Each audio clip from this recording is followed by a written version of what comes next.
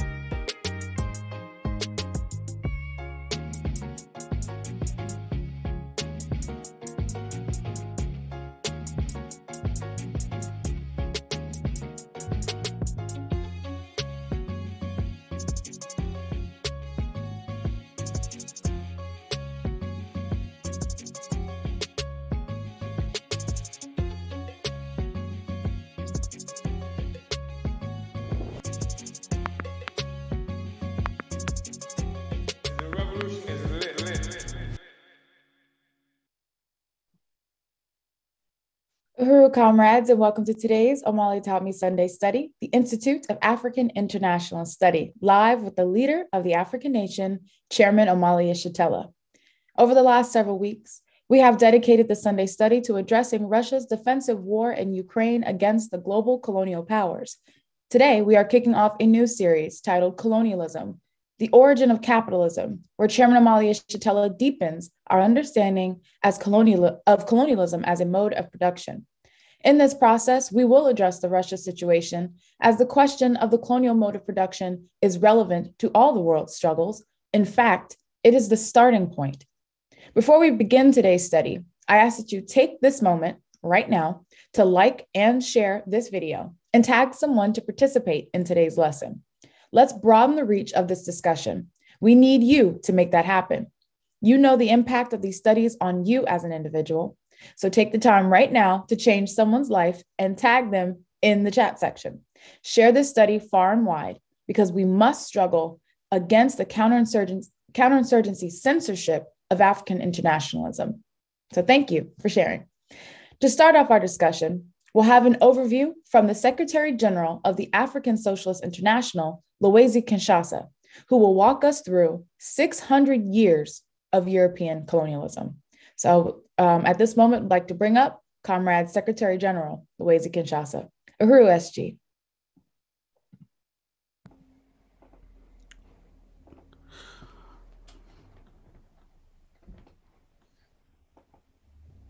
Who Director Akine, thank you so much for bringing me uh, to this series of us uh, on um, colonialism as uh, as the mode as the mode uh, of production, and uh, I would like to take the opportunity just to to acknowledge uh, Chairman Omali Yeshitela, the leader of uh, African uh, nation and the leader of African revolution, but most importantly, the is also the finest leader of our time and the leader of a world revolution as is happening today. And um, it's really a privilege for me uh, to be uh, on this platform. And um, I just want to uh, say those uh, those things. So where do we start?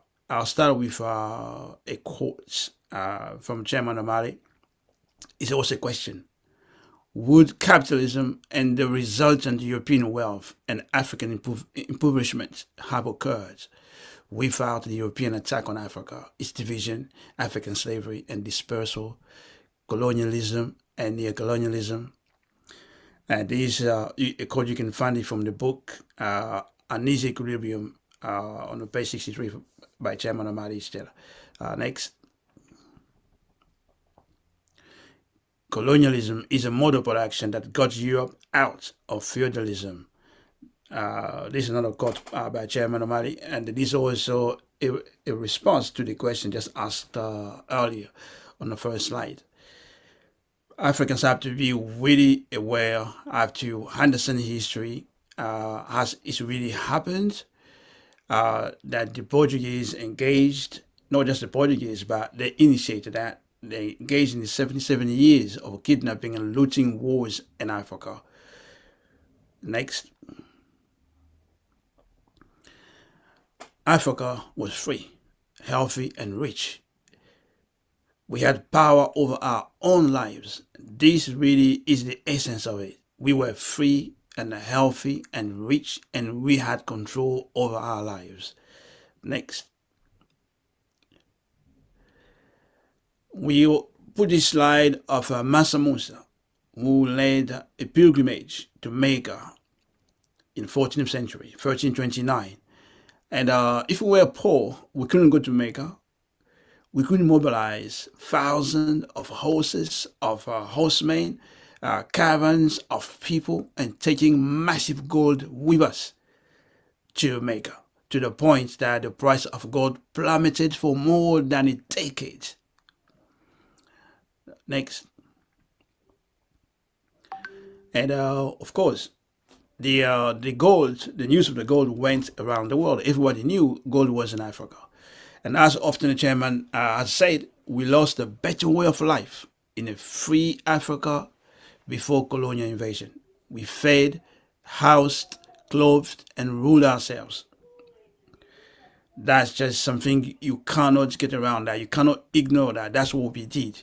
Women were recognized as rulers in societies no homelessness, no solitude or police murders, no police prisons, no famines, no constant civil warfare, no illegitimate economy, no illegitimate foreign rule, no colonial horizontal violence.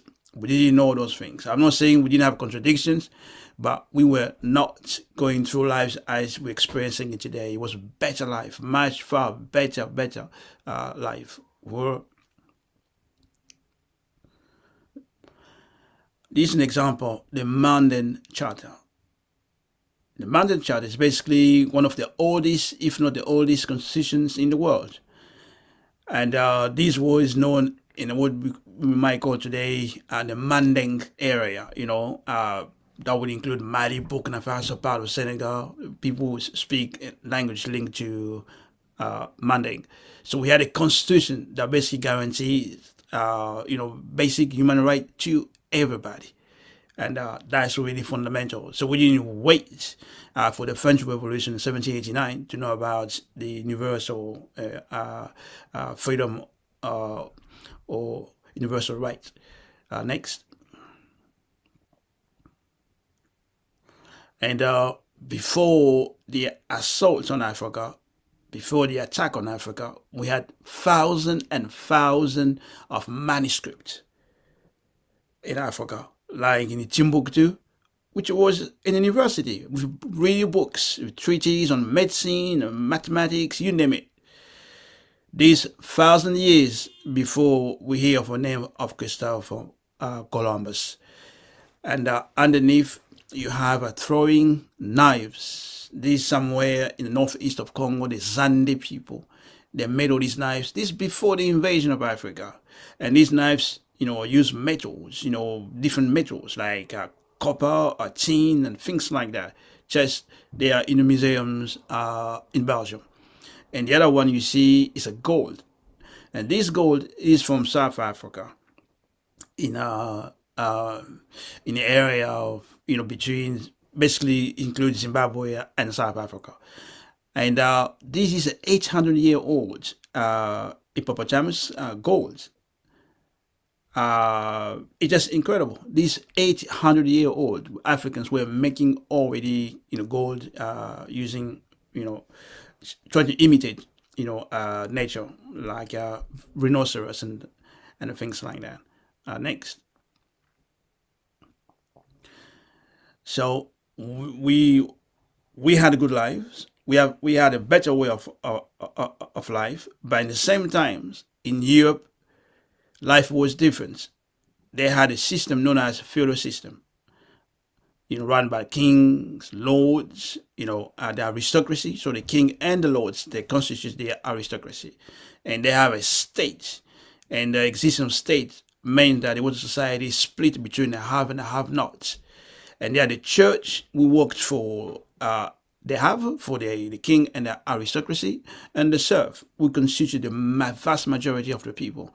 So medieval serfs were in the lowest level of peasants, Medieval serfs worked on the land of the master, the nobleman.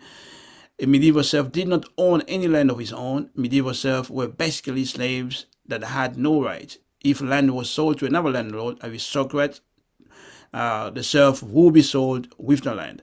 And you see the map uh, on the left. This is the map basically that shows you uh, we didn't have uh, what we call today nation state, like France or Germany or Britain or Spain. Or, they didn't exist. And this really is important for Africans to know that what we call nation state did not exist at all. Next.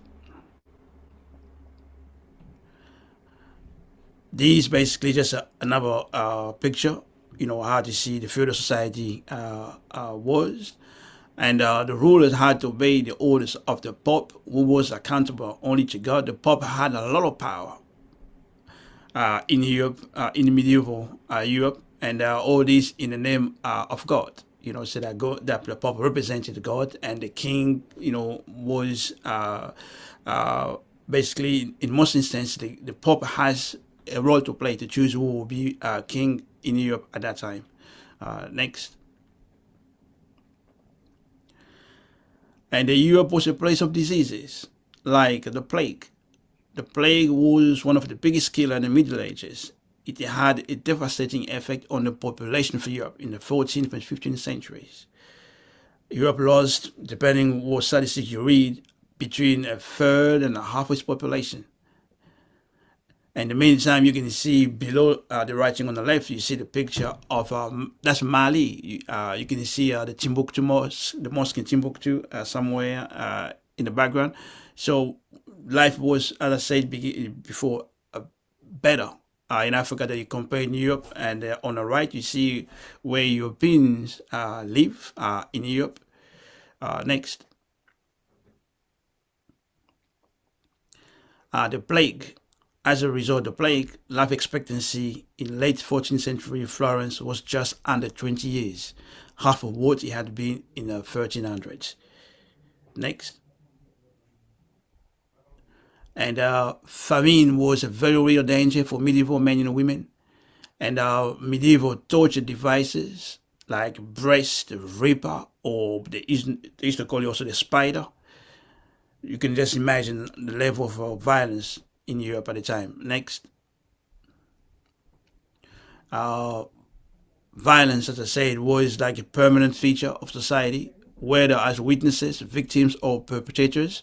People from the highest ranks of society to the lowest experienced violence as an omnipresent danger in daily life. So you have this uh, knee split on the right, and uh, the other picture on the left, you know, uh, the roller if they're putting in, motion, this will pull you apart, pull your limbs apart, you, you know, just uh, such level of, uh, of violence. is incredible. Uh, next. Uh, childbirth during medieval period, giving birth was incredible, incredibly perilous. Infancy and childhood, infancy was particularly dangerous during the Middle Ages. Mortality was terribly high based on surviving written records alone. Scholars have estimated that 20 to 30% of children under 7 died, but the actual figure is almost certainly higher. Uh, next. You hear the European leaders all the time, all the time, they're talking about uh, the, they are defending the way of lives. You know, uh, you know, Russia is not like them and things like that. But the way of life in Europe, that's really what you've seen in those in, in this uh, slide. Heresy. It could also be dangerous to disagree. People held theological or religious opinions that were believed to go against the teachings of the Christian church were seen as heretics in medieval Christian Europe. So burning women was like uh, a game of the day, you know. Uh, being accused of being witches, you get burned, you get killed. Uh, next. travel. You know why people love to travel. Uh, you know, just see when you look at tourism in the world who is traveling. But people in the medieval period faced the host of potential dangers when traveling.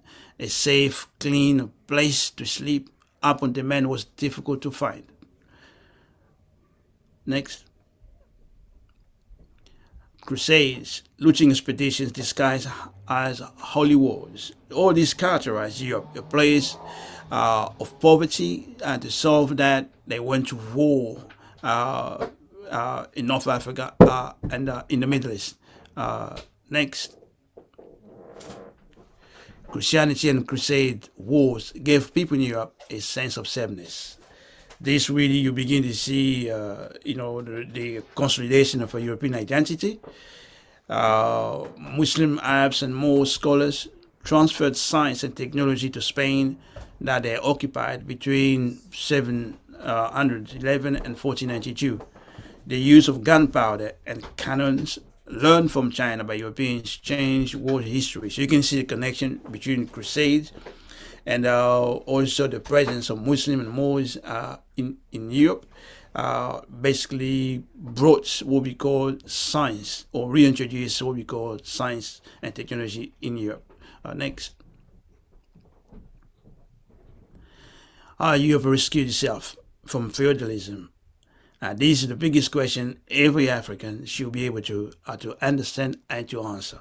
Uh, this is the answer brought to you by African internationalism, the theory developed by Chairman Omali Yeshitela. Uh, this is really, really, really key. And this date, we should always, always be aware of it. Europe attacked Africa.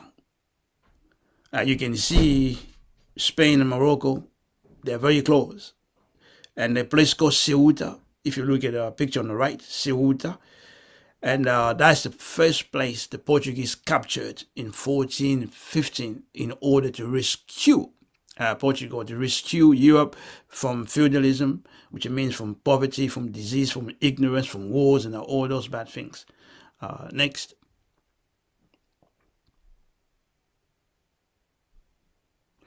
And uh, the attack on Africa gave Europe the means to attack the rest of the world. This is really important. I put some of those pictures. You see the Ottoman Empire in green. 1481 is not that big, but by 1586 it's really big. Uh, you can see where it is.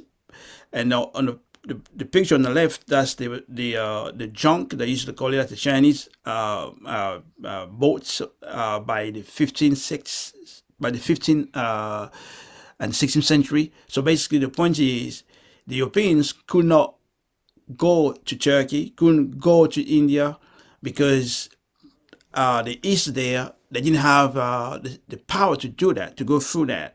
And uh, China had the ability to go around the world, but they did not uh, uh, do that. So the Europeans uh, went down around Africa and also, of course, later on attacked the Americas this is something also, you know, it's just to help us uh, understand basically uh, the significance of assault on Africa. They could not accumulate capital just like that by attacking other places. They start in Africa. Uh, next. And here, uh, I'm, uh, I'm taking uh, from um, um the book written by French Howard. it was a long Africa's western coast that Europeans the techniques of map making and navigation, where ship designs were tested and improved, and where sailors learned to understand the winds of the Atlantic Ocean. These experiences, mainly dating to the 1400s, were to prove instrumental not only in the settling of the Americas and the opening up of new trade routes to Europe. So basically, what they're trying to say here uh, was uh, French uh, Howard uh, trying to say here, basically, the attack on Africa was really fundamental. That's where uh, they learn new techniques. That's what they learn uh, how to navigate, how to improve, uh, you know, all these techniques before the attack on America, before the attack on the rest of the world. And this lasted for 77 years. Uh, that's this is something the Africans have to be really fully aware in order to understand the significance uh, of Africa in this global colonial uh, mode of production. Uh, next. the problem is not just that the people and culture of Africa have been ignored and left to one side, rather that they have been so miscast that the story of the global past has become part of a profound mistelling. Uh, that's really just profound. And he goes on to say the impetus forward turned into the creation of multiple European empires stretching across continent did not come from the yearning for ties with Asia, but from a centuries old desire to forge trading ties with legendarily rich black societies in Africa that were home huge quantities of gold and an inexhaustible source of labor. So these the 77 years we're talking about between 1415 and 1492, what the Portuguese and Europeans did in Africa. Loot, steal, kill, kidnap, and all these contributed to, you know, to the accumulation of capital basically that transformed uh, Europe. Uh, next.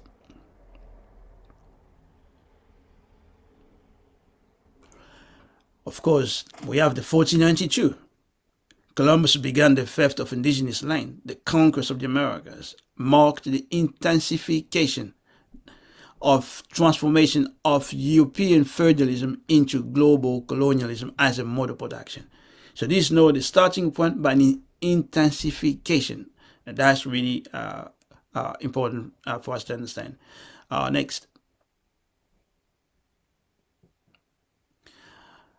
That's, you know, a question we've been asking from the very beginning. And these are questions Africans should understand and be able to explain and also understand our own significance, how we're going to change the world. How colonial capitalism system replaced feudalism system in an impoverished Europe. Because we have to be clear, really, really clear. That's one thing uh, the chairman has been uh, insisting upon for for for sometimes uh, that the development Europe was not due to an internal phenomenon. It's not internal phenomenon. That's what basically uh, we're trying to say here. It was colonialism, which is not internal phenomenon. It's not. So you have these pictures here. You have the white workers in industrial revolution on the right. Underneath, you have Africans in the colonial slave plantation. And on the left, you have the uh, European attacking the Indians, the indigenous uh, in the Americas.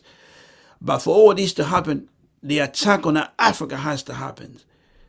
You know, for the attack in the Americas to happen, uh, for Africans to be in colonial plantation in the Americas, for white workers to be in the Industrial Revolution, the attack on Africa has to happen first.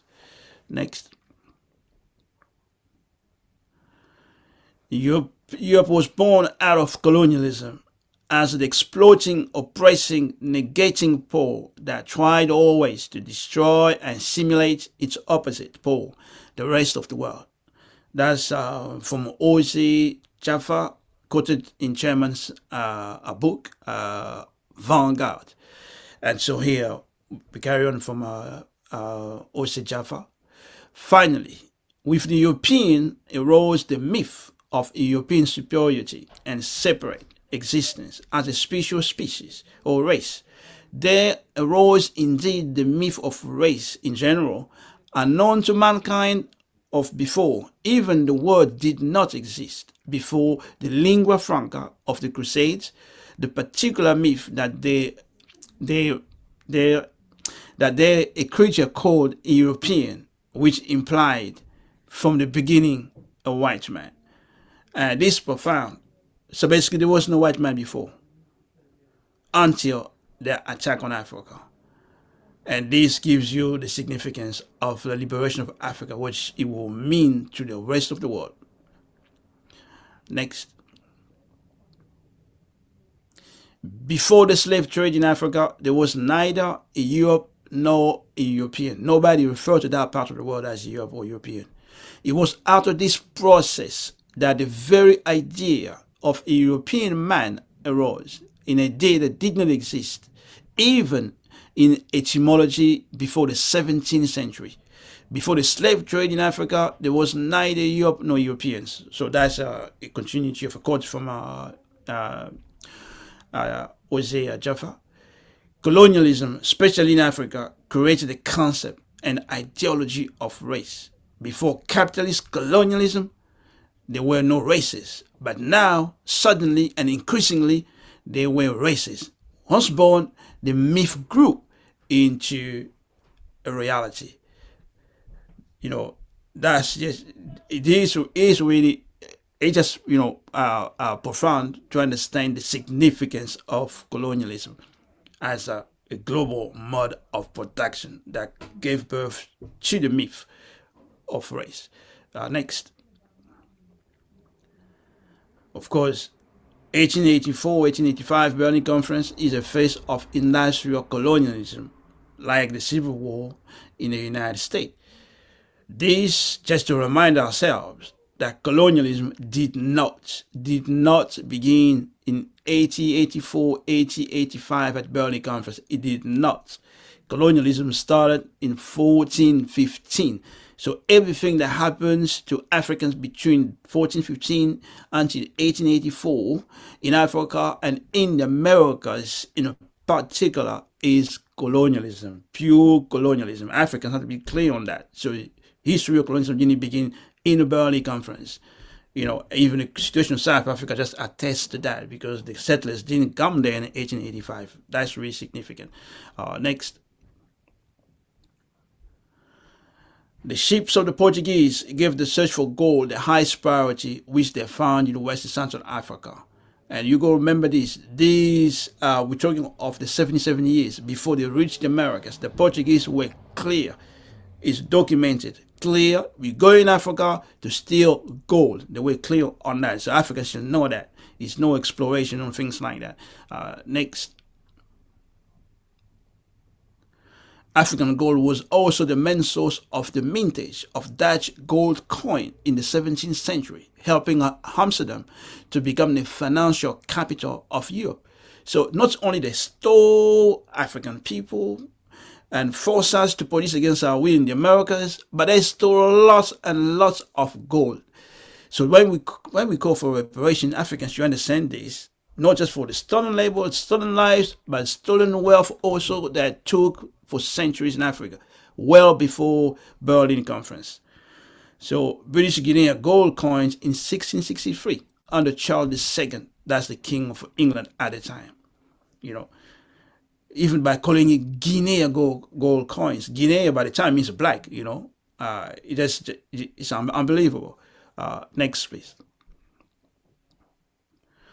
The African contribution to European capitalist growth extended over such vital sectors as shipping, insurance, the formation of companies, capitalist agriculture, technology, and the manufacture of machinery. At least 25 banks of England governors and directors from 18th and 19th centuries were or had been owners of slaves and were linked to slave training. So you could not talk about economy in Europe, economy in England, in France, without talking of colonial, uh, of colonialism. Just impossible. Everything dependent on it. Everything. Uh, next. The most spectacular feature in Europe, which was connected uh, with African trade, uh, was the rise of seaport towns, notably, you know, Bristol, Liverpool, Nantes, Bordeaux, Seville, we can name others. Those cities came to life, became significant because of colonialism as a mode of production, which means because of an attack on Africa and theft of African resource and labor and so on. Uh, next. Most, now, uh, most were then works to death. We're talking of a uh, African uh, people here, the lifespan of trafficked people reckoned to be seven years or less. It was cheaper, wrote one English planter on Antigua in 1751 to work slaves to the utmost and by the little fare and uh, hard usage to wear them out before they become useless and unable to do service and then to buy new ones to fill up the places. Black lives literally did not matter other than to make their owners rich. So this is the significance of every single success, wealth, development, whatever they call it, uh, democracy, uh, or everything enjoyed by the white nation, everything, the price, we pay the price uh, for it. We are at the foundation for every, as the chairman put it, every single dream, every single, you know, career, professional career, you name it, it directly dependent and it depends on colonialism as a mode of production. It does not depend on feudalism or anything that the white people did to begin with. Uh, next. Underwriting slavery, insurance, slavery in the Dutch Republic. Just an explosion of insurance companies in Holland, England, and so on. Global general insurer like Aviva has also issued an apology for its connection because there is no business in Europe, no business under capitalism that doesn't have its origin in attack on Africa. That's what basically what we're trying to say. So this Aviva is one of the biggest insurance company today in Europe. We can trace Aviva's history back over 300 years to 1696. Given our long heritage, there has been decisions, actions, and behaviors made by our predecessors that are clearly unacceptable to us today and it's likely that Aviva insured people or property that enables the slave trade. Reads a statement saying to GTR, yeah, we demand reparation. We don't need the apology. Uh, uh, next, please. This is colonialism. Cotton became a British greatest export. How can Britain become? How can Britain become, you know, a uh, a great uh, a great a great exporter uh, of cotton. How can that be? Cotton doesn't grow here. That's colonialism. That's the Africans are producing it. So there is a direct connection, as you can see, between Africans uh, being worked to death and white people having job in uh, industrialized Europe. The two are part of the same process. Next. Sugar a new colonial product changed the diet of European colonizers. Can you just imagine if you take sugar out of the supermarket in the United States or Canada or Europe or France or Australia, if you remove just sugar, can you see how the diet will be just transformed negatively uh, for them? But that's colonialism in action. That's the Africans dying in a colonial plantation in the Americas, in the Caribbean, in Louisiana, all those places in, in Brazil. Uh, of course, the British love the cup of tea. It's a colonial cup of tea. Uh, next, please. Haiti, the pearl of the Antilles, funded the French Revolution and bourgeoisie rise to power. You cannot talk about what they call in Europe democratic revolution that brought the bourgeoisie to power because the bourgeoisie and their white working classes so the bourgeois class, the white working class, both classes are a direct, direct result of colonization of African people and the other colonized people around the world. Direct result of that. Haiti fed France, fed French revolutionary, fed the French Revolution, fed the French democracy, and there is no doubt uh, about that. Uh, next. What is the cost of mobile phones and laptop? It's the same process we're looking at. Colonial labor and genocide in Africa. Doesn't matter what, what type of phone it is, what type of laptop it is, whatever it is, the starting point is colonialism as the mode of production, which means colonial labor, colonial death for Africans, colonial poverty for Africans, colonial dispersal for Africans, you know, colonial powerlessness, all this stuff we, we suffer every single day is for the success of the colonizers. That's what African Internationalism teaches us. That's what Chairman Omali teaches us. That the starting point it has to be colonial model production, and uh, that's really. Uh, I, I, think this should be at the last slide. See if there's another one, but I don't think so.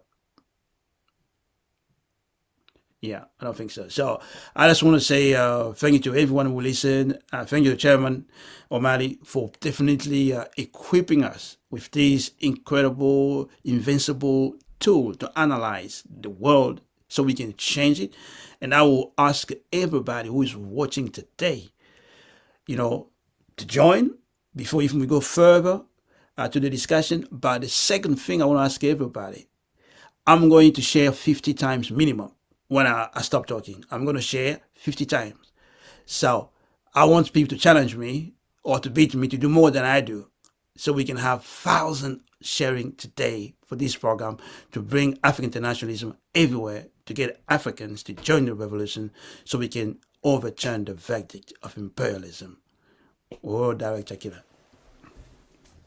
Uhuru, Secretary General Luwezi Kinshasa, well, I want to join you and you know calling on people to share and tag people into this discussion, like this video, spread this widely, um, because you can't get this analysis anywhere else.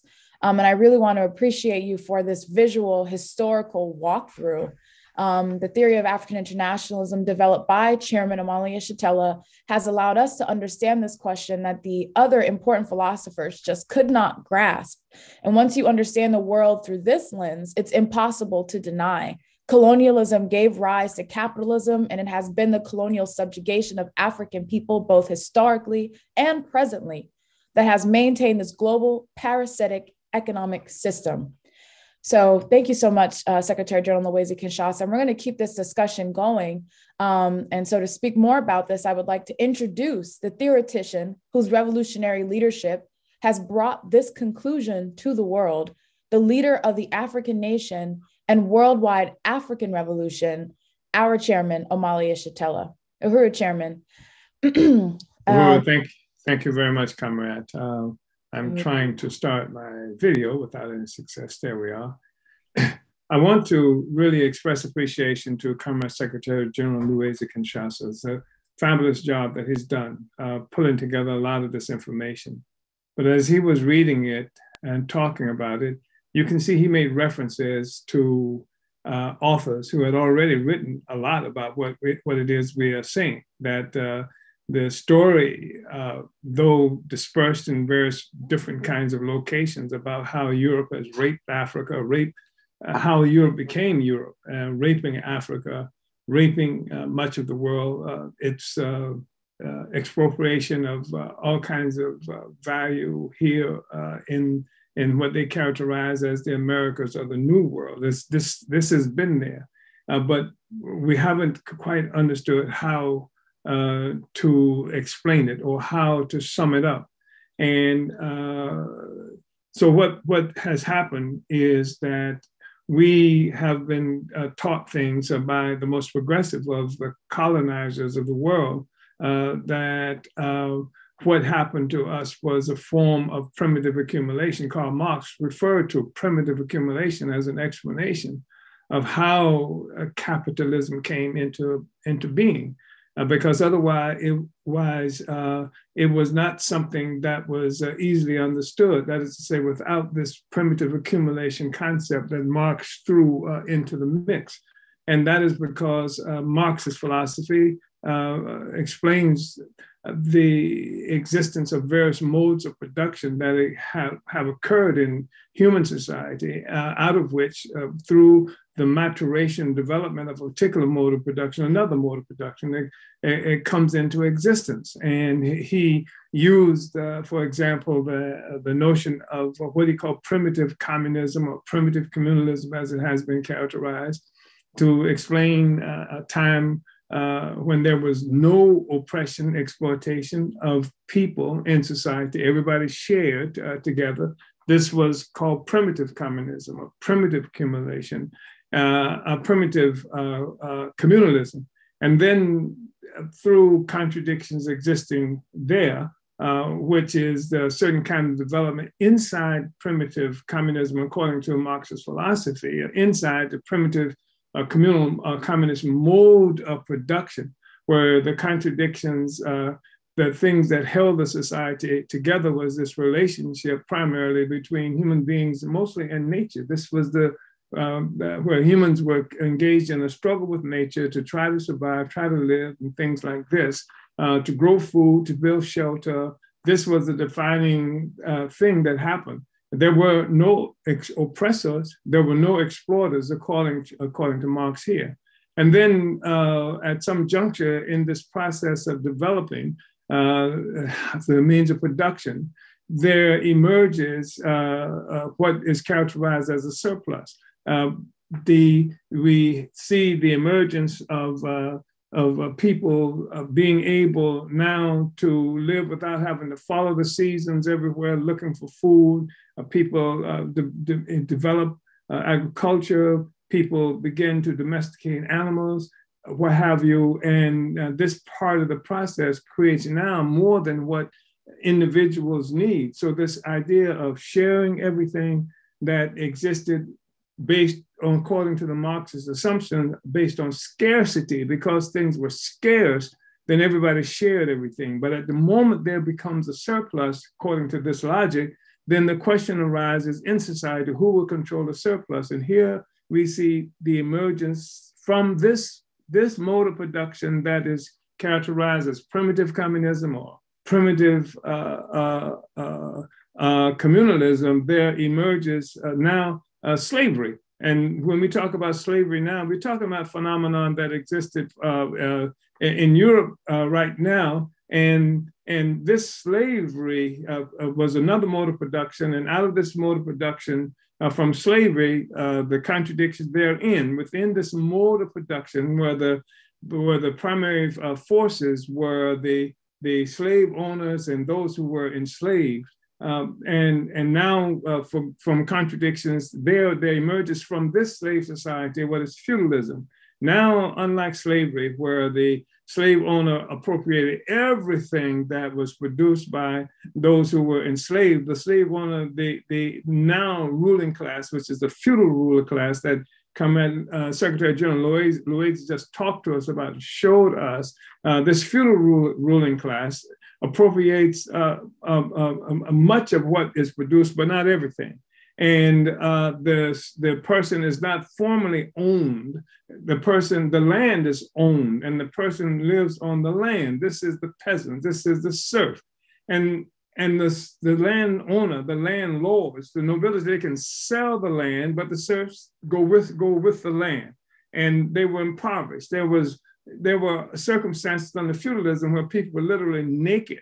And this lasted for something like a, a thousand years almost in Europe, lived under these circumstances. And then from feudalism, there comes this, this capitalism. And this is something too, according to Marx, that emerges from this feudal mode of production and the feudal mode of production is something that was existing throughout what we now know as Europe. Europe didn't exist at this moment, just various fiefdoms, just various kingdoms, if you will, that were controlled by local lords and, and, and nobility. These forces uh, existed in what was now Europe and what is now Europe. And but then how do how do we get then from from this situation of feudalism uh, this relationship where uh, the the landlords and the and the peasantry and serfs uh, were the primary forces.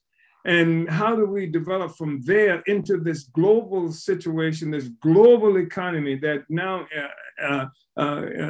captures the entire world envelops the entire world? And this was a mysterious thing that Karl Marx explained away with this concept of primitive accumulation of capital. And in this, he talks about the development uh, from, uh, from feudalism to capitalism. And he talks about it in a way, however, that captures the history of African and other peoples around the world uh, and takes it from us and make us, it makes us a part of the history of Europe.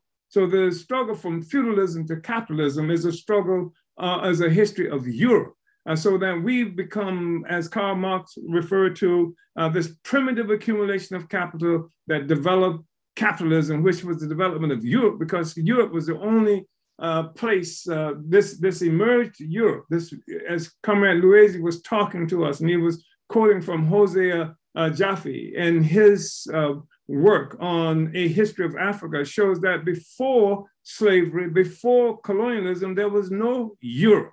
Europe was a creature of this process of, of, of these, these, these territories, these, these kingdoms, this uh, uh, uh, capturing uh, and enslaving and colonizing uh, peoples uh, throughout the world. This is the thing that gave a common identity. to this, this what was up to now, this disparate group of people who define themselves primarily in relationship to each other. That is to say, the Celts uh, then, and, the, and, the, and the Normans and the, these various other kinds of European of, of these forces that existed in this territory, but did not see themselves as a single. Uh, uh, and the, an exception to this may be, or part of this process was what was called the Crusades, that we saw the attack on northern parts of Africa and what is called the, the Middle East, uh, the Crusades, this uh, under the leadership of uh, uh the direction, the inspiration of the Pope. Uh, then we see this emergence of, the, of all of these entities attacking these areas in this holy war, as it was characterized, looting and what have you. And this began a process of acquiring an identity of what was going to be characterized as Europe as Christendom. This area was known as Christendom at, at Christendom as one time. And this is the thing that helped to shape the consciousness and shape the, the, the, philosophy, if you will, even of what is now characterized as the West. Christendom was something that, that, that initiated uh, this process that, that we are talking about now and this identity, this group identity, this sense of sameness. Uh, so the system of sameness, it begins to be shaped with the Crusades uh, that was that were initiated against the parts of Northern Africa, parts of what we now refer to as the Middle East.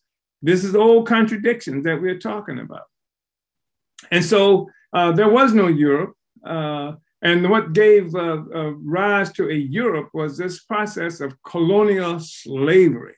And the, the, this is the thing that united the, the, the, these, these separate and disparate uh, groups uh, into one and, and, and set them out uh, uh, in a process of, of capturing human beings and human resources on looting expeditions around the world.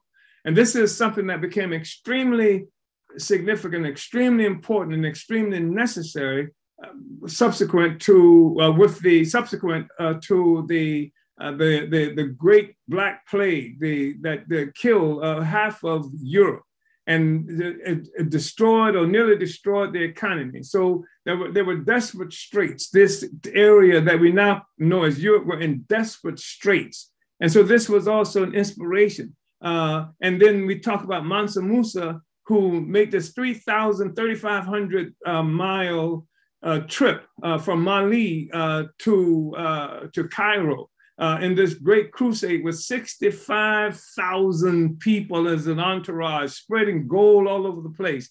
Later, uh, it is this memory of this gold uh, that comes from Africa that, that, that creates an impetus for all Europeans, these people who would become Europeans, uh, to search for this gold. In Portugal, as we just saw in the discussion that was uh, initiated, the overview by Comrade Secretary General Luwezi, Portugal uh, was one of the initiators in Portugal, which up to this time was just a tiny, relatively insignificant uh, entity, appendage, if you will, almost to Europe, uh, becomes an extraordinary power because of the gold, because of it begins to this on the coast of Africa. It begins this looting process. It begins a process that and, and that even uh, co- contributed to the development, the emergence of sugar uh, as uh, this factor that changed the diet in Europe, uh, and and and and also brought tremendous amounts of resources. So Portugal uh, starts this attack on Africa, and this is something that that starts again 600 years ago.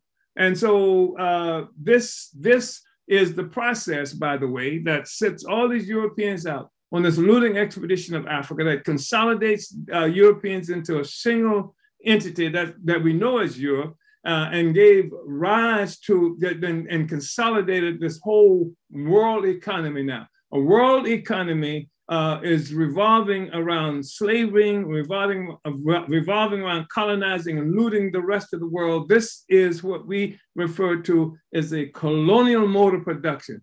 So there was feudalism, a mode of production that, that defined reality and life in Europe uh, uh, uh up, uh, up until this era. And where you see in the 15th century, you see the beginning, the real serious drive to consolidate this world economy uh, through uh, colonial slavery, looting Africa, uh, looting uh, the Americas and the rest of the world, dominating this. This is the drive that, that we are experiencing right now, this ongoing process of theft of resources. This is a colonial mode of production. It's a new mode of production. So we move from feudalism uh, to, uh, uh, as a mode of production in Europe, uh, to a global mode of production, which changes the world. And we create a foundation that upon which all political and economic activity that occurs in the world now is connected to this driving process. That's why we've been able to say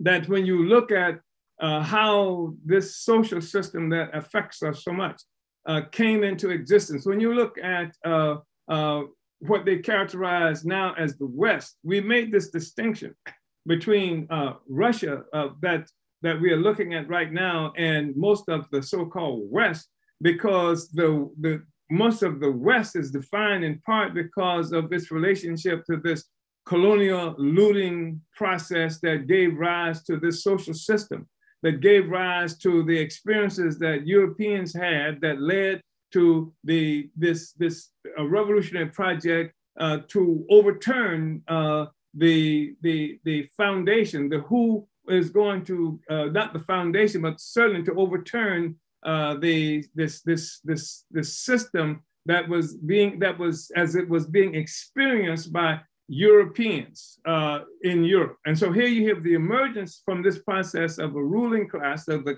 of the of the bourgeoisie, uh, who is the chief expropriator of value that's coming from colonialism. And then you have the emergence of the white uh, working class. And so that, uh, that this contest that exists between these white workers and white rulers uh, becomes uh, uh, something that defines how we understand the development of the world. And, and this is because what we now have, what has happened is the struggle against capitalism obscures the foundation of the entire system, which is colonialism. The colonial mode of production is what gave rise to what we now refer to as capitalism, where the centrality of the experience of capitalism happened on the pedestal of colonial domination of Africans and oppressed peoples around the world. That's what we're talking about. So when when uh, we look at uh, now, uh, and we use this example coming into discussion for the last uh, two or three weeks, we've been talking about the defensive war being fought uh, by uh, Russia against Ukraine. It, it, it is an extraordinary kind of experience because what we are seeing here is an ongoing process of assault. The, the whole colonial mode of production is something that's that has was initially challenged and and, and has been challenged for the longest period of time by the colonized ourselves.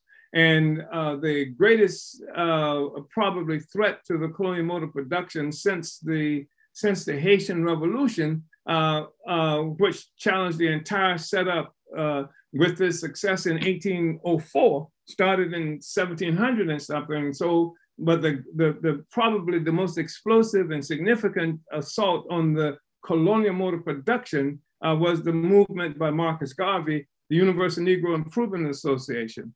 And this is because what Garvey did was to mobilize the those uh, who were critical uh, to the colonial mode of production as Africa. In Africa, and those Africans who have been uh, uh, dispersed all around the world, throughout the Americas, uh, African people who were a part of that process, and then even Black people in other places of the world who, who experience oppression, exploitation, because the colonial mode of production also comes with a superstructure that is a philosophy, that is ideas, that is a culture and, and legal systems and things like that, it reinforces this, this economic base of exploitation that comes from colonial slavery. And so uh, this, these ideas have defined Black people, but people, dark people. It gave rise to the white man. Uh, the colonial mode of production gave rise to the white man. The white man uh, comes into existence, and then the white man creates the Black man in terms of philosophy, ideology, creates himself, creates the black man. And so uh, everybody who is what not what they have now defined as white uh, uh, is subject to uh, ideological, philo philosophical, and political justification for oppression, exploitation, and taking the resources of the people. So you have people, Africans in Australia and Africans in various other parts of the, uh, of the world uh, who experience oppression that's justified, political institutions created uh, to justify. I mean, Hawaii gets, gets stolen by the Americans, the indigenous people, all this is justified and institutionalized in terms of legalities, laws, and customs and things like that uh, through the superstructure born of a, of a, of a, from through this colonial mode of production, a superstructure born through uh, an economic uh, foundation of expropriating value from those of us who are colonized. It's a parasitic social system. It was parasitic at its birth, and that's the kind of thing that Comrade uh, Secretary General Luwezi was just talking to us about. And I hope I haven't complicated the question too much, but I do want to go back uh, to this question of the white man. Uh, because the white man is uh, something uh, originated with colonialism. The white man is colon- uh, invention of colonial slavery, the colonial mode of production, and and and it was the game. The it was the the political, uh, the ideological justification of the war being made against the rest of us. At one time, someone uh, remembers that we were taught that it was justifiable to do it because whether people were Christians or not Christians, but now what we have is the emergence of a colonial mode of production full-fledged. And, and, and the white man, as, as, as he has defined himself, as the colonizer has defined himself, as Lord and Master of the world, and the rest of us are, subject to his whims. And, uh, and this is the, how the colonial mode of production uh, looks. The colonial mode of production is a mode of production uh, that is characterized by the parasitic expropriation of value uh, by, uh, by, by different countries and societies, uh, the theft of resources, the parasitic uh, theft of relationship existing between uh, this parasite and the host. The rest of us become host to this parasitism. This is the colonial mode of production. This is what helps shape and defines this colonial mode of production.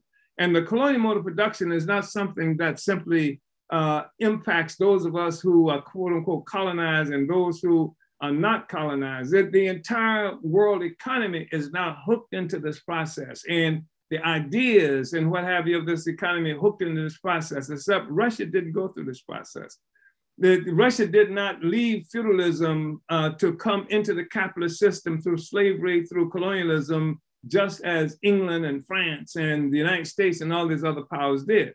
Russia came into modernity uh, through a revolution that was made in 1917. And the 1917 revolution in Russia happened at a high tide of anti colonial resistance around the world.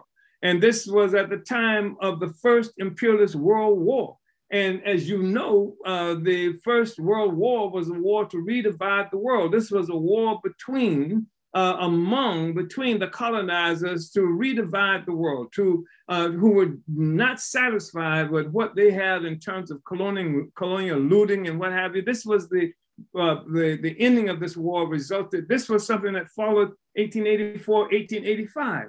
Remember, this is where the white people got together, uh, the colonial powers got together in Berlin, Germany, and carved up Africa and shared it out among each other. This, this looting, this greed, this uh, process uh, uh, uh influenced by Mansa Musa, you know, back in the 1300s, uh, now is, is, it continues to inflame and influence the opinion and direction of European development, what is now gives birth to Europe and gives birth in the process to this looting expedition and a social system based on looting.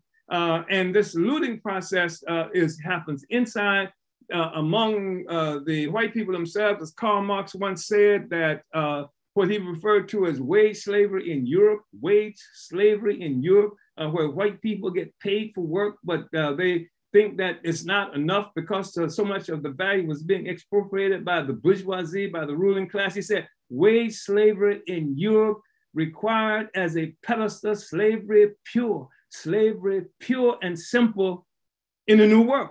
And, and that was us. And, and the colonial process is that which, which uh, the whole capitalist uh, social system, capitalist thing uh, rested on. And so you have this process. And then about 19, and so in, in uh, this war between, uh, you saw the struggle uh, happen again in, in uh, that led to the Berlin conference among uh, European powers to say we don't have to fight over this Africa thing, we can share it out to each other. Uh, uh and then uh, uh, this war started over who was going to get what part of, of, of the world. Who was that in, in, in his first imperialist world war? 1914 this thing kicks off. 1914 something else is happening in jamaica. In 1914 that's when marcus garvey created the universal negro improvement association. A few years later a couple of years later he moves to harlem in new york and what have you. He begins to grow this extraordinary movement uh, all over the world in 19 uh, the time of the, of the first imperialist world war uh, uh, oppressed people, colonized people were engaged in struggle. And so the, the, the Russian Revolution happened in the context of the struggles of the peoples of the world and the struggles of white power to redivide the world. The Russian Revolution uh, happened within that context. And what gave it a special significance to Europeans in part was because it was a part of what was supposed to be Europe. And the, then the Bolsheviks, the Russian communists, uh, are the ones who who, who in Russia um, were able to win the revolution in part because they guaranteed the people in Russia that they were not going to participate in this war to redivide the world, the First World War. They're going to pull Russia out. So many Russians had died in this war. And so they pulled Russia out and they made this revolution. And the moment they made the revolution, the rest of white power, they made the revolution uh, uh, uh, during this, this period of extraordinary struggle that was happening around the world about colonized peoples around the world. And then they were attacked uh, by, they were invaded by all of the colonial powers, including Japan and the United States, invaded Russia. Uh, and, and, and, and, and that you know, tells a bit of the story about when we, this whole thing began that we see uh, uh, happening in with the so-called West attacking Russia today because it, it has its origin in that moment, has the origin in the fact that we saw Garvey unleashing revolutionary struggle all around the African world, and it was everywhere. At a time where uh, Nicaragua, uh, uh the US government was dropping bombs uh, uh, in Nicaragua and, and in Tulsa, Oklahoma at the same time frame, a year apart, uh, on both uh, uh, Tulsa, Oklahoma, Black people, um, uh, uh, Nicaragua uh, being bombed by the United States government. At the same time, the so-called Red Summer, where where thousands of African people were being killed by white mobs throughout the United States. This was the context of the Russian Revolution. Uh, and it was not just a, a, a group of uh, white people fighting among themselves. It was the context was the struggle against colonialism. That's the thing that thrust uh, the Russian Revolution to the surface and gave it so much significance. And that's the thing that started this war that was made, uh, was being made against Russia and the ongoing process of attempting uh, to isolate, to uh, demonize, to destroy Russia as a force that was on the side of the colonized peoples of the world. That's where it comes from. And so, uh, what we're looking at today, of course, is that uh, the US has succeeded, along with the other colonial, the only reactionary, uh, slimy, uh, slave owning colonizers country, they have united uh, uh, at this moment uh, to uh, destroy Russia. They've been working at it for a long period of time. They got long memories, unlike so many Africans and so called African leaders, they got long memories and they recognize the significance of Russia, especially during this time when the US economy has been in trouble, when the whole colonial economy has been in trouble, in part because of the resistance of colonized peoples around the world. Uh, when the Biden administration uh, is has been in the doldrums, is is polling numbers uh, dropping through uh, the bottom uh, when the whole uh, colonial uh, system, the whole alliance of, of white reactionary colonial powers uh, is being threatened in terms of the hegemony of the United States. All of these things are going on. And then they, they go against Russia. They use Ukraine to attack Russia. They've already killed 14,000 people uh, in uh, uh, uh, Ukraine, Eastern Ukraine, who are, are, ethnic speaking, who are Russian ethnics, etc. So they they have set up the process of establishing nuclear weapons that will be five minutes away from Russia. This is the part of the process that America is making. It's a colonial mode of production that, that has existed, and Russia has been part and parcel of that, independent of its will, and perhaps even independent of its consciousness. But it was there when Paul Robeson was there, uh, uh, trying to fight for Black people here. It was there uh, when we were fighting in Angola and other places. They were there when Cuba was there. It was there uh, when, uh, at least for whatever its own purposes, to unite with struggles against colonial capitalism at any given moment. Uh, and that's the kind of thing that we're looking at. So I thought it was really important that Comrade Luwezi laid this foundation. And as I said, he used information that's been available, that's been there, but it hasn't been summed up appropriately. And that's because we have fallen victim, fallen victim to this assumption that we were part of somebody else's history when the fact of the matter is that it's a colonial mode of production that we're looking at, not something that uh, that was put in motion that somehow we uh, were to be involved in making history for Europe uh, as some kind of primitive accumulation. Rather, uh, we are colonized. And if you're part of somebody else's history, you're always trying to fix their, their situation. You're always fighting against racism. You're fighting against some kind of black left in their thing. But once you come to a conclusion that this problem is colonialism, you once you understand the colonial mode of production, then your objective is not to perfect it, but to destroy it. Uh, and that's what our responsibility is. And that's why this discussion is so important. That's why recognition of the existence of a colonial mode of production is extraordinarily important and, and, and pathfinding, uh, earth shattering, if you will. Uhuru, come at uh, Uhuru. Yeah. Uhuru, Uhuru chairman, well, really want to just appreciate your intervention in the overview and just helping to contextualize the whole world. And as you said, to understand the whole question of colonialism as a mode of production gives you something to to fight against. It places africans as the subjects of history rather than you know the footnotes of somebody else's history. And it gives our struggle concrete trajectory. And i think once you know this you can't unknow it. Like you this is just fact and um, you know, I, one of the the questions that you know we were going to go into was the whole uh, Russia's defensive war in Ukraine against global colonial powers um, in the context of this colonial mode of production. And you've you know you've already brilliantly laid this out. And um, you know, just to again help to explain what's happening in Russia, this has been an ongoing thing, and it's a part of you know having been locked into this whole you know locked into this colonial capitalist system and how you talk about the world not just a part of of Europe or the US but the whole world was locked into this parasitic relationship this colonial economic system.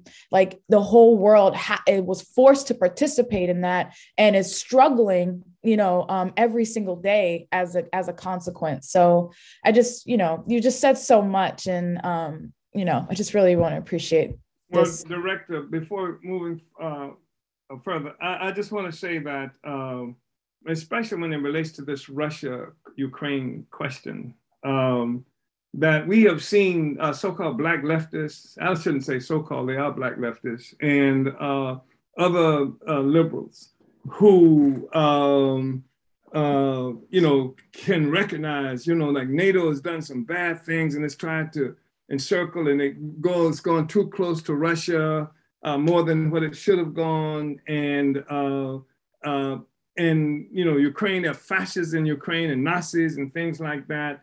Uh, and then they they say that they're opposed to all of that.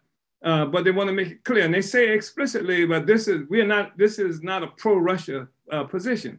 And then we will see some others who have said that how can you unite uh, like with Putin and Russia? Uh, and they take it all out of the historical context and doesn't even, don't even understand like how history moves and how uh, these contradictions that we're dealing with. But the, for the most part, I think it's really important because we have an extraordinary uh, mobilization that's been planned by the African National Women's Organization, a, a Black mothers um, um, mobilization uh, uh, against them stealing our children. And there were all these all these liberals and, and, Negroes and stuff who were supposed to be working with, and some of them backed out because of the party's position on Russia. And and they, they can't do that. And of course, part of it is that they're losing, they'll lose their grants because of the, the extraordinary kind of uh, oppression that's been initiated throughout the United States that uh, that's not so obvious as it might be in some other place. They just take your money, they just take your shelter, they just take your ability to function, you know, from you. That's one thing. And the other thing that's happened, of course, is that we are looking at forces who call themselves being able to hide, claiming to be revolutionaries when they're just a loyal opposition. They're loyal to the system. They're just a loyal opposition. They are not talking about overturning the social system. They are not like the African People's Socialist Party globally intent on taking power so that African people can have the power in our own hands and being free and, and defining uh, uh, and divining uh, uh, our future based on recognition of the centrality of the oppression and exploitation of African and other colonized people. We are the central force. And when you come to an understanding of, the, of, of this colonial mode of production, then you remove uh, uh, white power, you remove the colonizers, whether they call themselves, uh, whether they are communists or whether they are reactionaries, you remove them from, center, from the center and place ourselves in the center. And that tells us primarily what it is that we have to do, as opposed to how we have to get them to do something for us uh, or in our benefit. And I'm not struggling now against any tactics or uh, anything like that that might utilize uh, contradictions and between contending forces uh, uh, to our benefit. I'm talking about the to, the to what end that we are looking at right now, and the difference in understanding a colonial mode of production is what we're fighting against. Uh, and some uh, some some other uh, kind of uh, uh, iteration of uh, a European process of development. that's that's profoundly significant. Uhuru. Her, her chairman, thank you so much for just that clarification. And, you know, this, I mean, we've approached this whole Russia uh, situation, um, you know, from this point of, from this perspective, from this position, um, you know, of African internationalism and, you know, and through historical materialism, able to assess the whole, his, you know, uh, uh, uh assess history as the, you know, the basis for what we are seeing today and um, you know it's it's the correct position and the party that's why that's why the party is the vanguard. Um, and you know it has to to take the blows you know by taking the forward position the position that's going to take us to victory. The party has always you know never been afraid to to take the position even though it's unpopular at the moment. But i mean we see though you know the whole this whole question is so out there in your face. It's undeniable. People are being confronted with it are challenging it every single day. So you know it's only a matter of time before people understand the world um, uh, you know based on what it is that you've put forward you know over the course of um, you know your fit over over 50 years in this struggle. So um, Thank you so much, Chairman and, and Secretary General Luwezi. I don't know if you had anything um, additional to add based on uh, what the chairman has um, brought to this discussion. Um, if not, we'll we'll go ahead and move it. But uh, Secretary General, did you have anything you wanted to add?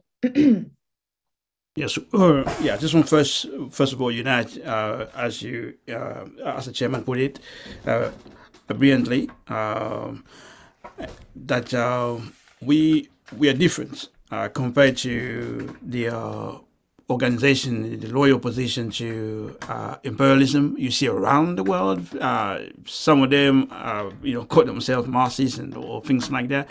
From France to England to Germany to Belgium, I checked, uh, the, you know, the the positions. It's incredible, just their solidarity, their unity with their own uh, bourgeoisie is incredible. They kept saying uh, the uh, the workers from Ukraine and workers from Russia have nothing to gain uh, from it. The reality is this is a colonial war, and we can see everywhere in Europe. I mean, the unity with the war uh, for for you know for for those of us who are alive, and particularly the younger generation who never experienced the opportunities while left, you know, uh, they can see it. The opportunities of the white population is unbelievable. Uh, people like pop star or star celebrities like Beckham, he has given his uh, Instagram account to a doctor from uh, Ukraine, and he has 75 million followers. That's unity of colonialism right there. And he's not the only one. Uh, every day you read the news, this celebrity, you know, this sports celebrity, this musician is lining up. So the uh, the role basically also of celebrities in the black community has to be definitely put into question. You know, what side are you on? Because the colonizer celebrities are clear, they are for colonialism. Gloves off. So we too have to begin, you know, we have to demand uh, if your personality, if you're celebrity, you can't just say you're black. It's not enough. You have to be against colonialism, which means you have to take the position most of the black people, most of black workers around the world are taking. They're saying we are with Russia. You know, uh, that's really an important point. There is another element with uh, the war, uh, the colonial war against Russia. And that was true during the Russian Revolution, and that's true today. Because with the Russian Revolution, what the Bolshevik did, they deprived Europe access to vast resources oil, diamond, you name it. And not only now, Russia is developed, Russia is industrialized, Russia is selling resources to them. Uh, the dependency on resources coming from Russia expose also the colonial nature of the uh, Western world because what they're doing, they are seizing Russian asset. Uh, and also, they kept saying we need they need an alternative uh, oil supply and things like that. Which basically, in another way, they're saying basically they need to attack Russia to get the oil, to be in charge of the resources of Russia. They're not putting it like that, but the question we always ask, we, you know, uh, the chairman asked, towards what end? They're taking Russia towards what end? One thing we know, Russia has got resources, vast resources, just like Africa, vast resources. So the question of resources that the colonizers don't have uh, is really, uh, really uh, critical. And the last thing I want to say is that the propaganda, the lies, the lies every single day the uh, colonizers are coming with lies about everything to do with Russia. They will say things like they're losing the war. They'll say things like uh, generals of Russian army, uh, they're dead. I read, I read one newspaper say the 15 commanders died. I mean, just, of course, it's a most of it are lies and lies and lies. And uh, it just brings in, into question uh, the necessity for us uh, for people who are listening uh, that we are the one have to bring the truth to the people which means the work we do how we move is significant.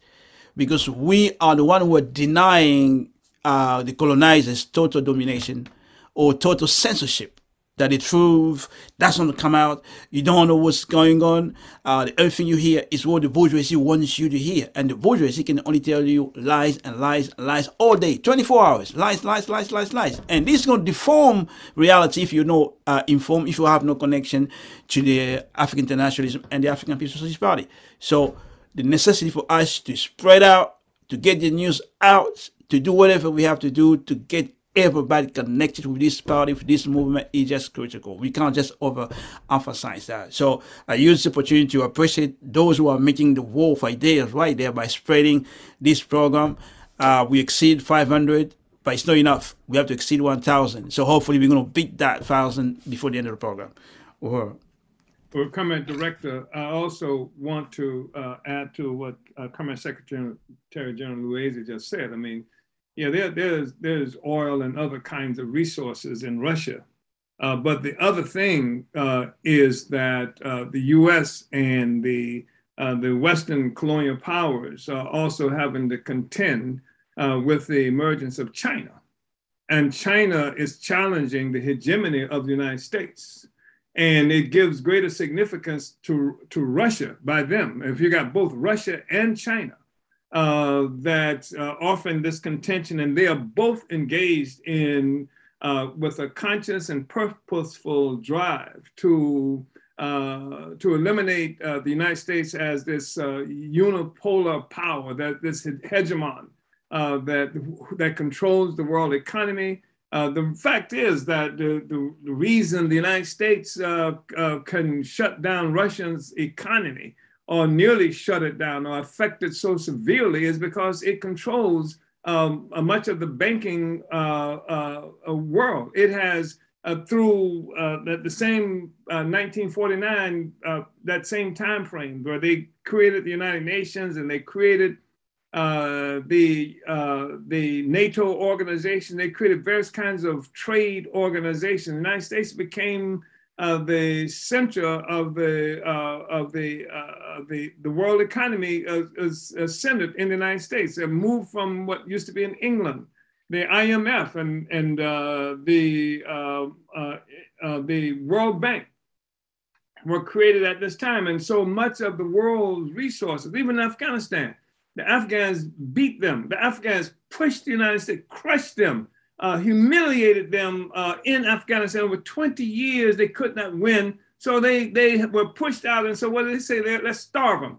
Let's keep their money. Let's keep any resources from being able to go to them. Uh, and more and more countries are coming to a conclusion that they're going to have to find a way uh, to uh, deal uh, economically, financially in the world uh, uh, without the United States or neutralize the United States, that kind of power.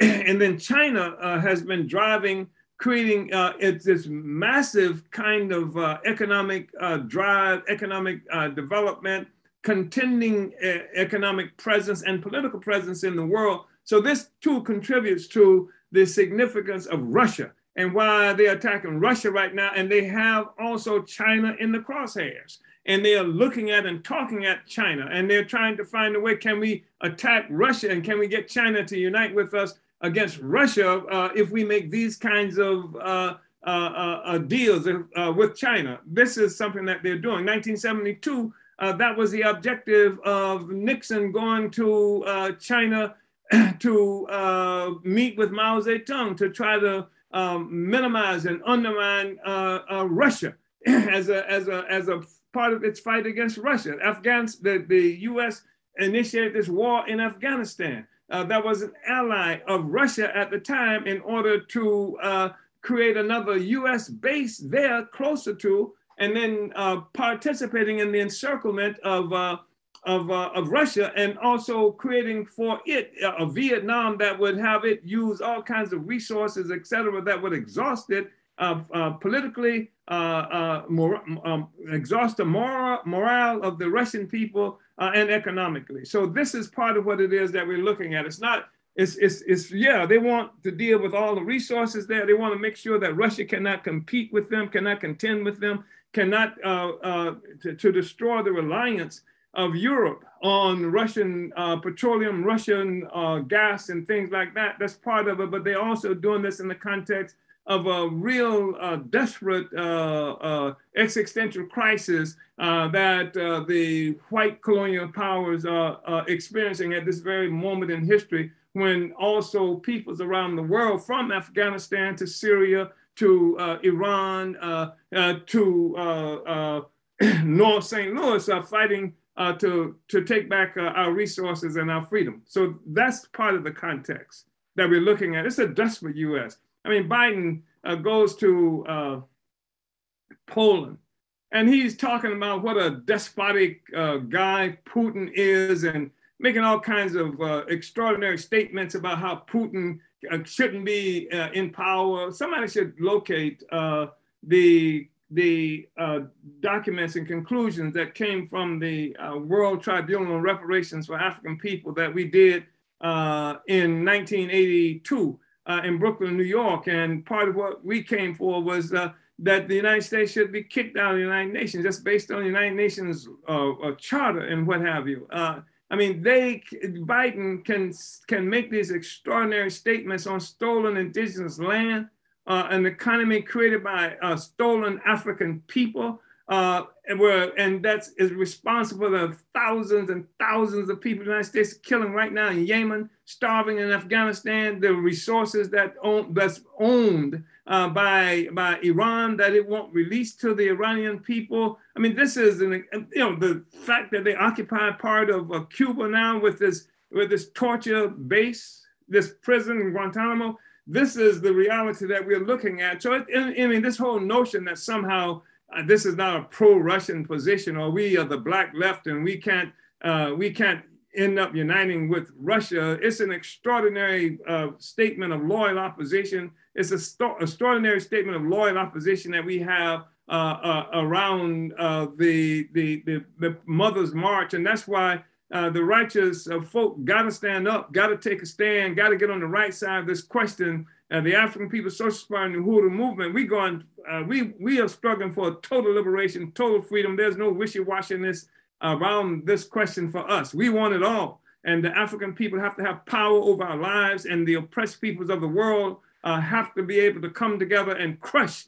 uh, this colonial mode of production so there can be a genuine peace in this on this planet Earth and, and not a, a, world that's informed by the interests of these greedy parasites who, who've sucked the blood of Africa for 600 years and for many other peoples around the world uh, for uh, a very long time as well. Uhuru.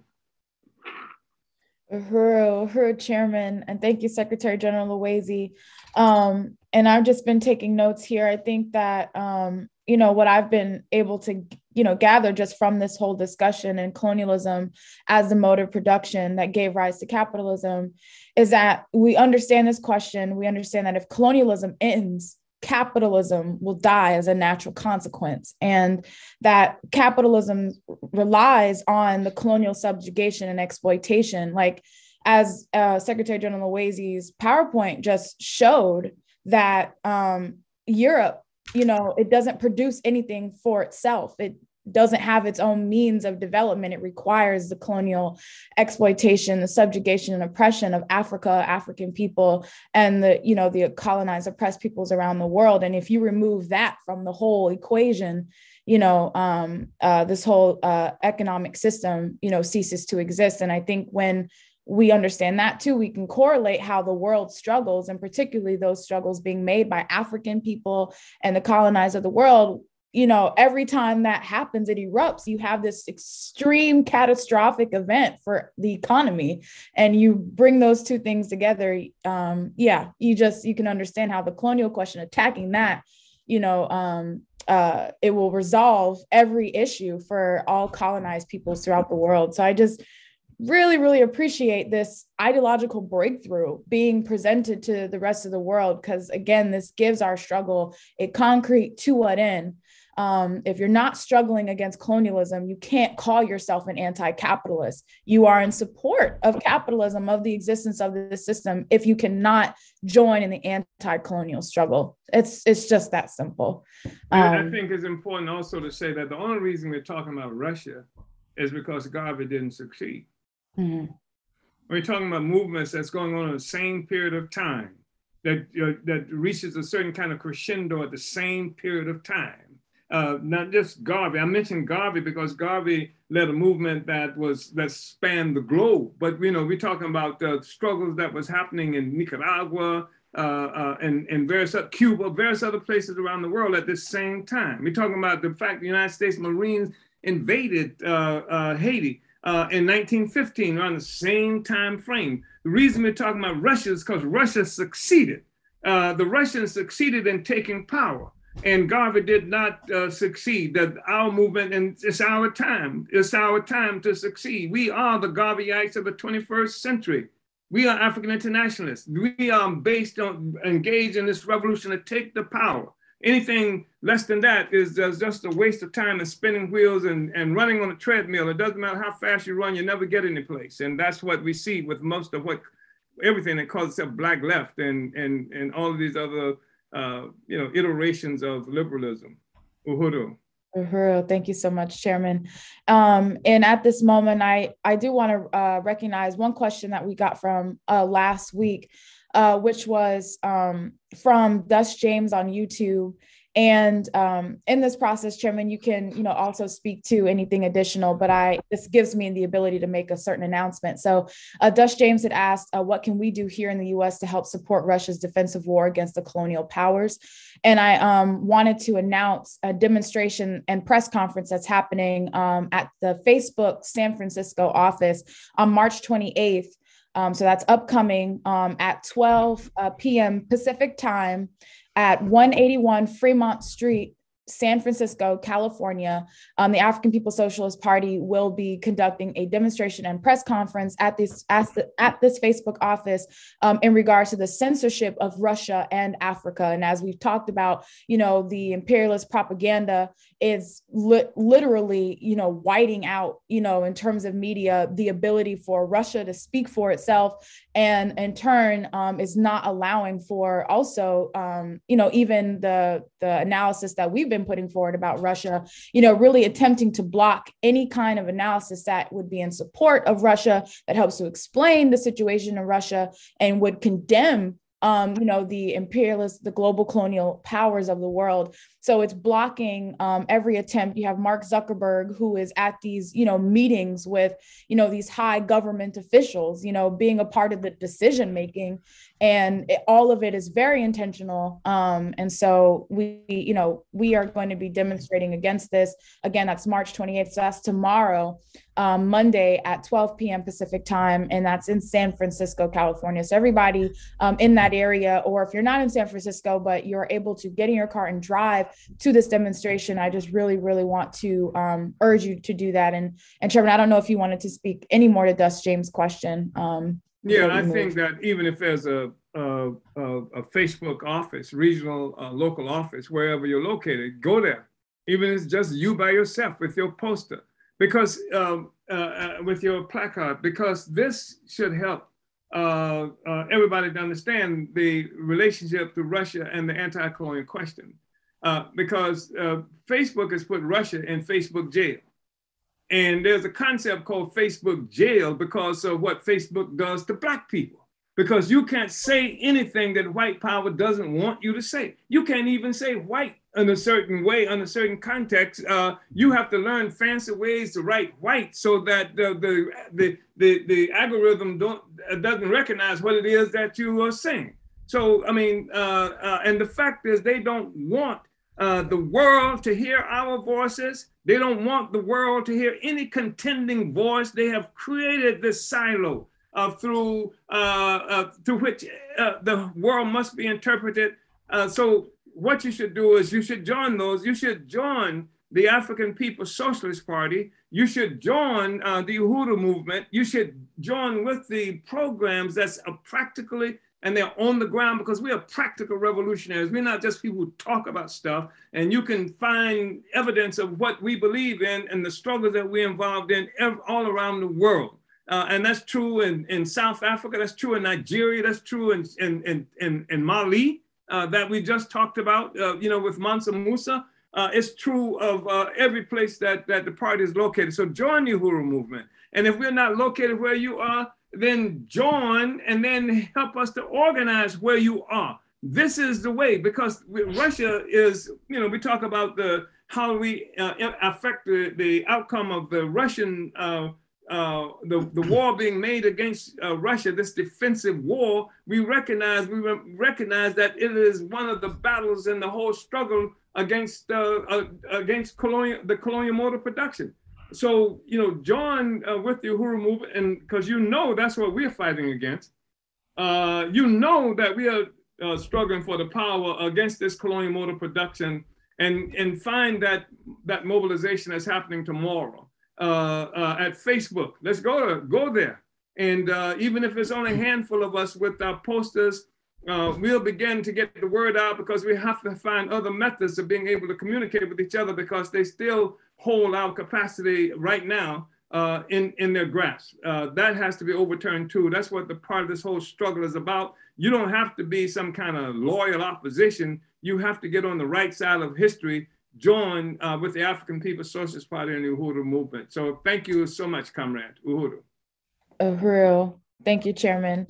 Um, so, uh, oh, Secretary General, did you have something? Um, yes, well, just just very quickly, uh, because I was talking about uh, the propaganda, basically. Uh, one thing uh, people need to be aware uh, about this uh, colonial war against uh, against Russia. I was listening to a French economist, and he said, first of all, he compared France and and Russia, and he said France cannot go to war for two months. France will collapse. And he said Russia can go to war for two years. And he said Russia has a surplus, a balanced surplus, far superior to countries like France or Britain, you know, and the rest of them. And Russia didn't have debt. You know, uh, U.S. economy and uh, uh, uh, England economy and France economy, they are heavily in debt. And that was not the case uh, for Russia. And also, he said most of the companies that are, affected in Russia are foreign orientated companies. And Putin has also replied to those companies if you leave, we're going to nationalize your companies. That's why, like France, uh, this company Renault. Renault is a car maker. It's one of the biggest car makers in the world. They they publicly said they're not leaving. They're staying in Russia. And uh, so this basically, you will not see this as a main news. The mainstream media, the you know, the colonial media will not say that that Renault is not leaving. Uh, for example, the Germans, they paying using SWIFT system for the oil, and Russia is getting like eight hundred million dollars. Uh, I think, I think it's a day, just selling oil to Germany and other Europeans who depend on its oil going through the SWIFT system, despite the sanctions imposed on them by Biden and the rest of colonizers, uh, uh, rulers. Of course, the media will not uh, go into that.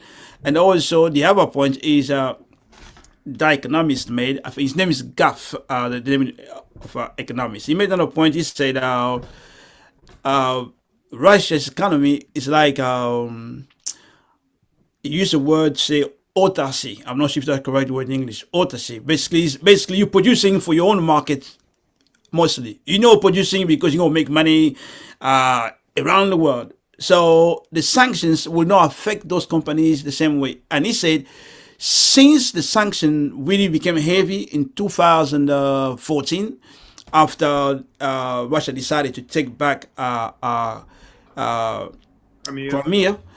The Russians have started to rely on themselves. Everything they used to buy, like the, the, cheese from France, they're making it and things like that. So the sanction will not, I'm not saying the sanction will not hurt them, but it will not hurt them in, a way the propaganda wants you to believe that Russia is collapsing, Russia is in its knees, things like that. So Africans have to be aware of that too.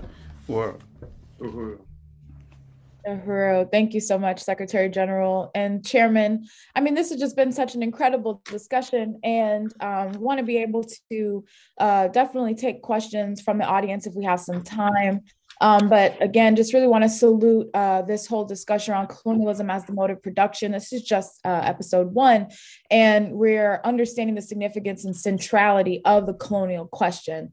So um, we're going to take a moment of pause, uh, give our uh, panelists a little bit of a break, and go into some brief announcements. Um, if you do have questions pertaining to the topic, go ahead and drop those into the comment section. We're going to try to get to um, at least uh, one or two of those today.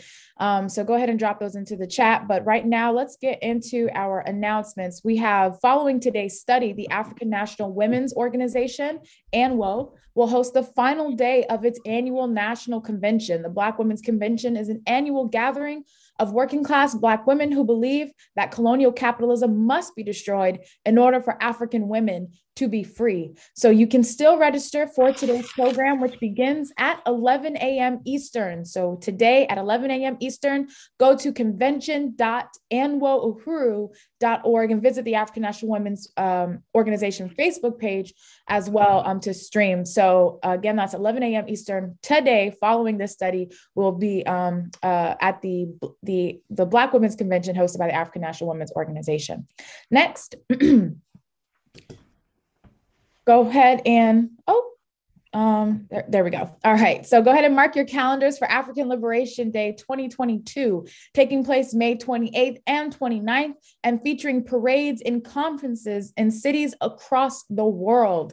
This year's African Liberation Day events will recognize the founding of the African People's Socialist Party in 1972 under the theme Relentless 50 years of leadership toward African redemption. To connect with your region's ALD mobilization, visit alduhuru.org. This is something you do not want to miss. Wherever you're located, there's going to be a regional ALD mobilization. So visit alduhuru.org to learn more about your region's um, African Liberation Day. Next. And of course, subscribe to the Burning Spear TV on YouTube and donate to your favorite show, Omali Taught Me, at paypal.me slash Omali Taught Me. Again, we are, you know, struggling against this censorship, this whiteout um, by colonial powers to um, uh, uh, prevent African people from being able to speak for ourselves. So we really call on you to combat this by supporting our platform. So um, subscribe to our channel and again, donate to paypal.me slash Omali taught me. Next. And for all your movement events and announcements, visit theburningspear.com slash events. So there's so much more that's upcoming. And you can visit theburningspear.com slash events page to learn more about all those different events. Uh, Chairman mentioned the Black Mothers March on the White House that's happening um, and several other things. So you guys can keep up with everything the party and the Uhuru movement is doing in a city location near you at our events page.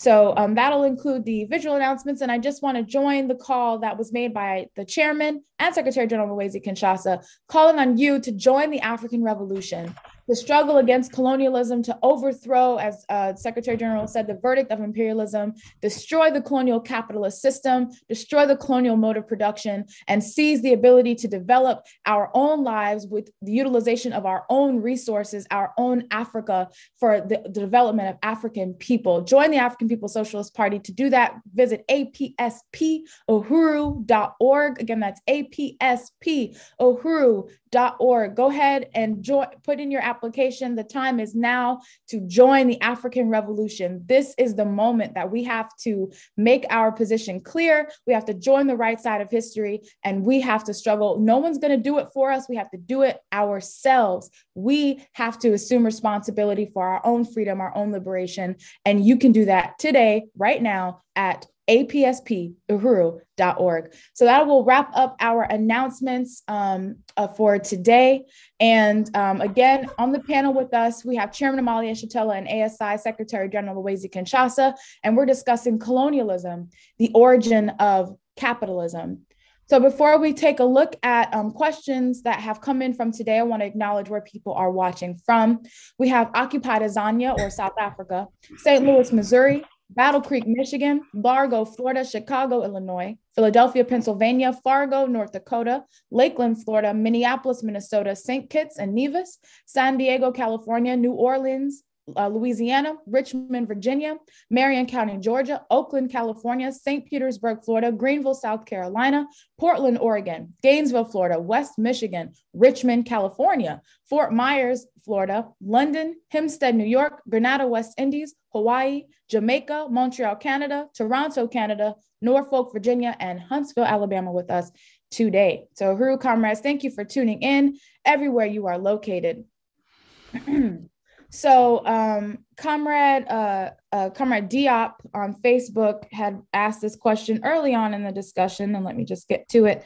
So, um, he had asked, uh, and it did wasn't. Oh yeah, he asked it for the chairman, but both of you guys can, um, both of you can speak to this question. Um, Uhuru chairman, thank you for this groundbreaking analysis and theoretical understanding of the world.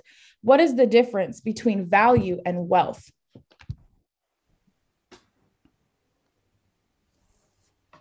I heard you. I was just okay. mulling over the question. Okay. Thank you, Comrade Diop, for the question. Uh, the difference in value and wealth. Um, I think uh, value uh, is, uh, Luis, you want to take a jump, a stab yeah. at that? The difference well, value and wealth? Well, um, basically, you people can have wealth. Uh, we can say we've got land that's wealthy we got gold, we got you know uh, forests. Uh, you know, as a national wealth, we can say that we're gonna have uh, basically we can own things that we can consider as wealth. But value, I think, presupposes that uh, there is a label involved in that in transforming, um, uh, you know, nature or or something like that, because in the context we're looking at when we say uh, Europe has wealth, which we're talking of value stolen uh, from all the colonies uh, of the world.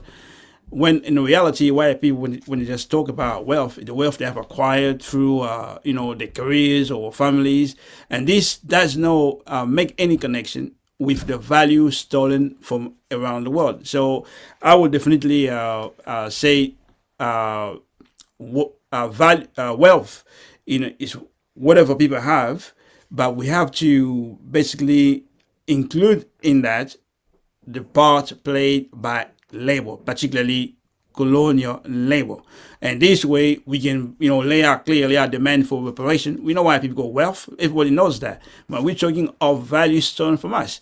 And in that value, uh, we, we know the labor that we put into that and also the resources stolen from us. Just like the United States built on a stolen land, on the wealth of, on the land of the indigenous people.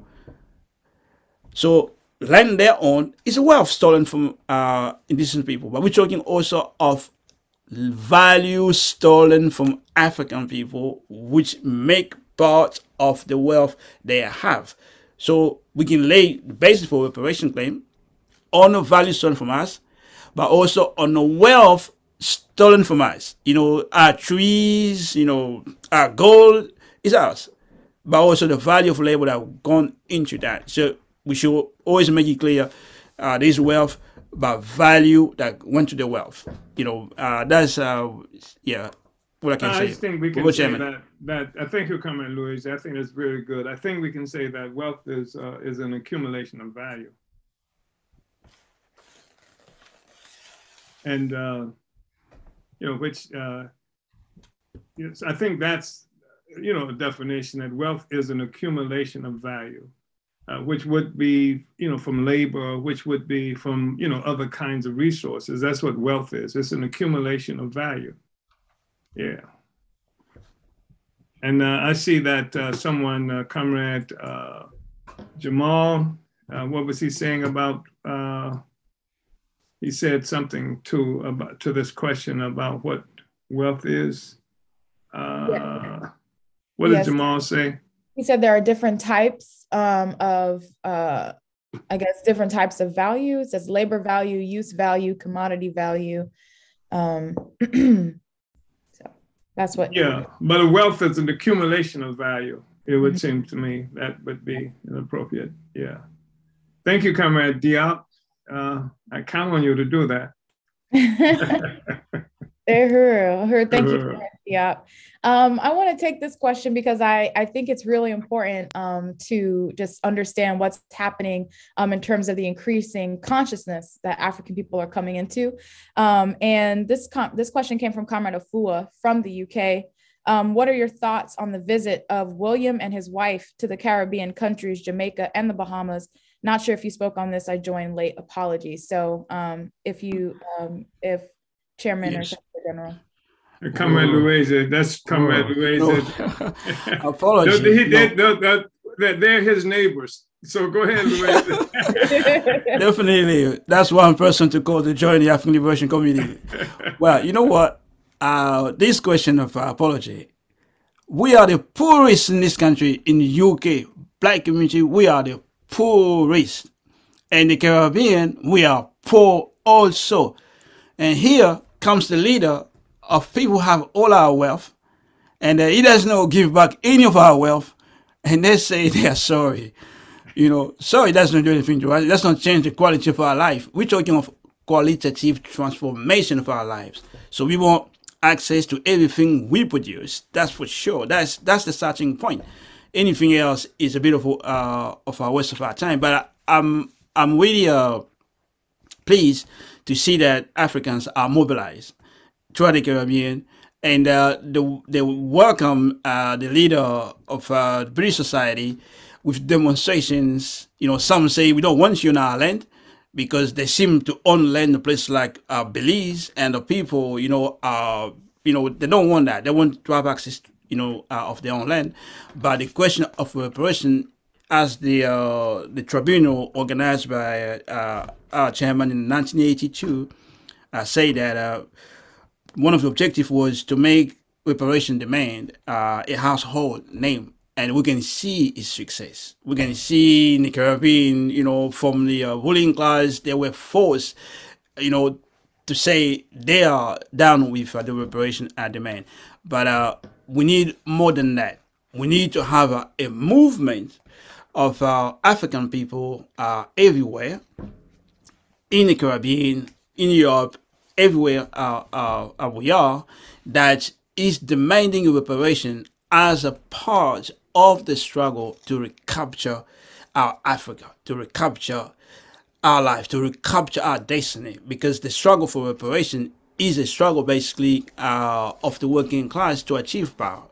And uh, we, you know, under the leadership of Chairman of the African People's Socialist Party, we have already um, been moving forward by opening a front in the white community that they have to unite with reparation demand. Because when you see the struggle in the Caribbean, uh, we they're demanding uh, the Prince of uh, England to you know uh, to say sorry uh, and for reparation, but it's like the white people who are watching for from England, uh, they are not being challenged. They're just watching like from distance.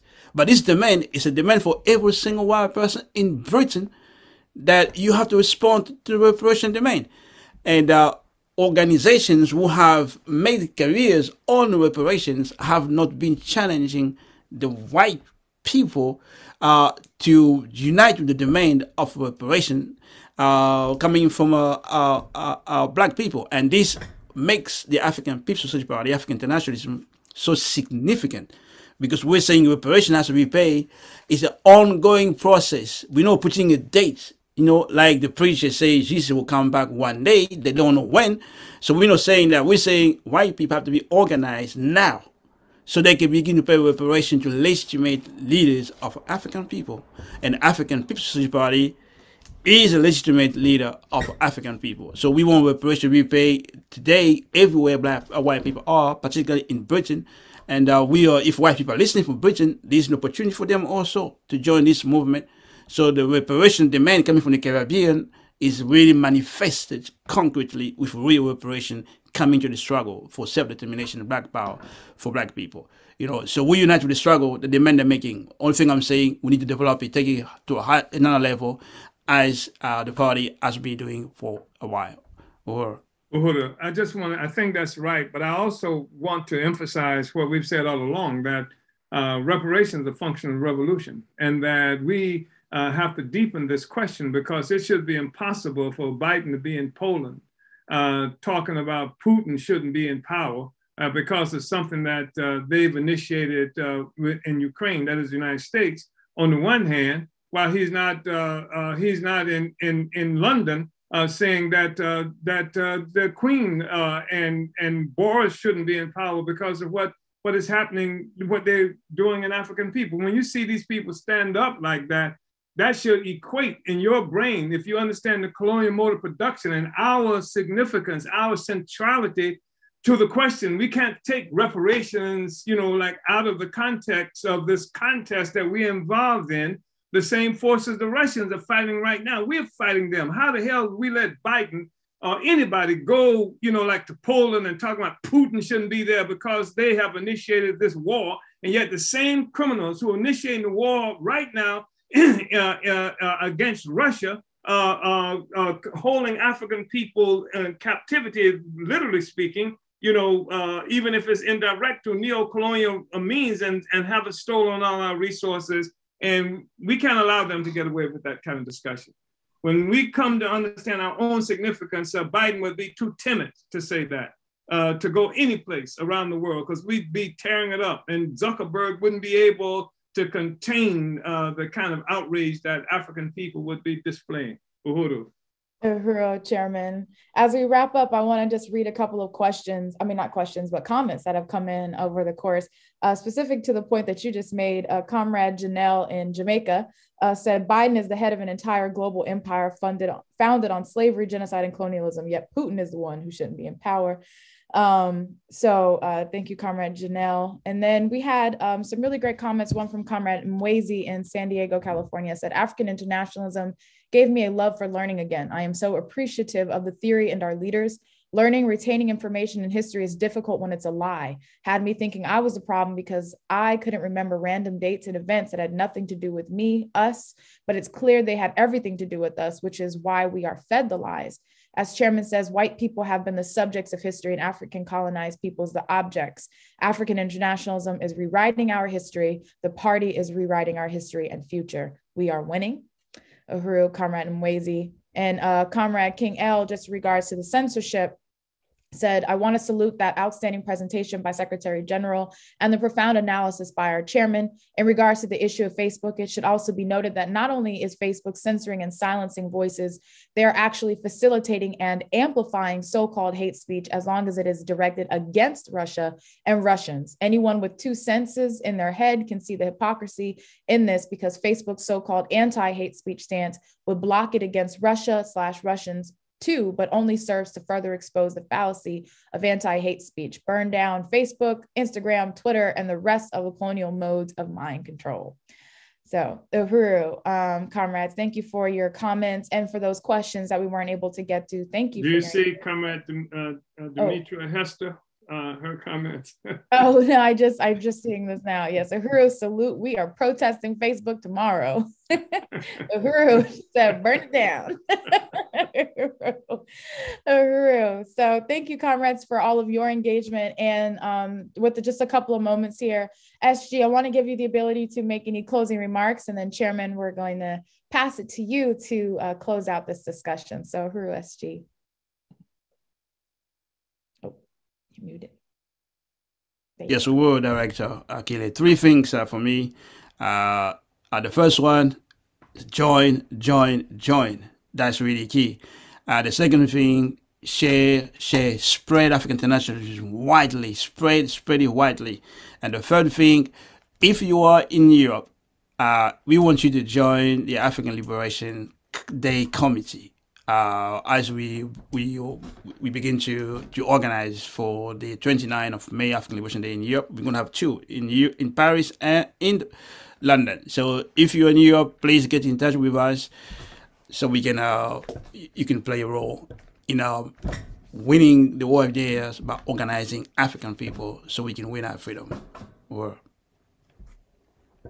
Uhuru, uh, thank you, Comrade Secretary General Luwezi. Uh, Comrade uh, Director Akile Anai. Uh, it's been an extraordinary discussion. I really want to appreciate uh, the presentation provided to us by Comrade Luwezi. Uh, he's done an incredible amount of research. He's been doing this for many, many years and collecting uh, all of the history, all of the evidence that confirms uh, that validates our position around colonialism, not just being some policy uh, or simply a policy by a particular power, but a mode of production. And we've seen this mode of production being uh, the force that's driving some of the most reactionary uh, uh, uh forces in the world. When you look at, uh, you know, what the, the, the, how even latecomers like the, the illegitimate white nationalist state of Israel, colonial mode of production, the thing is that white power has understood for a long time if you want to get over, if you want to get rich, if you want to make a lot of resource short period of time, then uh, steal somebody's land, steal the resources, steal the people themselves if you can. That's what America is a settler state. That was one of the things Europe learned a long time ago. and the Israelis, the so called Israelis, uh, is a settler state. Uh, just like uh, South Africa, settler state, just like Zimbabwe, settler state, just like Namibia, settler state. And so we've seen this process of uh, these, they are get rich schemes and based on the colonial mode of production and uh, African people ourselves, uh, the victims of this, have to come to understand our own historical significance. And we have to unite together, build the African People's Socialist Party globally, build the African Socialist International globally, and become part of a trajectory uh, that is designated, that is designed uh, to destroy colonial mode of production and bring not only freedom for our people, but uh, change this uh, situation where we've got some countries and peoples who rule and lord it over other countries and people who humiliate Africa and African people uh, in this kind of uh, world that we have with, with bosses and workers and slaves and slave masters and create a new world. That's our objective. That's what the African People's Socialist Party is about. So uh, we have 50 years of history of making this struggle. We're not newcomers, and we say that all of us have a responsibility uh, to fight for and win uh, the redemption of Africa and African people globally. Uhuru, thank you so much. Uhuru, Chairman, thank you so much. Thank you, Secretary General Luwezi Kinshasa, and all of you, comrades, who have been participating with us up to now. Um, and we're going to go ahead and move to close. As I mentioned, um, the African National Women's Organization's final day of its convention is happening uh, beginning at 11 a.m. Eastern today. So make sure you uh, go travel over to the ANWO Facebook page or go to convention.anwouhuru.com uh, .org to register. I also um, need to make this announcement, and we'll get this up on um, a visual for next week. But the sixth electoral campaign school hosted by the Black is Back Coalition um, is happening April 9th um, to 9th through 10th, 2022. Um, it'll be held in person in St. Louis, Missouri at 4101 West Florissant at the Uhuru House or on Zoom. To register, go to blackisbackcoalition.org. The theme is Beyond the Colonizer's Coup to African Self Determination. So, again, this is our sixth electoral campaign school. Go to blackisbackcoalition.org to register. Thank you, comrades. Um, make sure to like and subscribe to the Burning Spear TV on YouTube to catch every episode of the Omali Taught Me Sunday Study. Join the African Revolution. Vanguard up. Uhuru.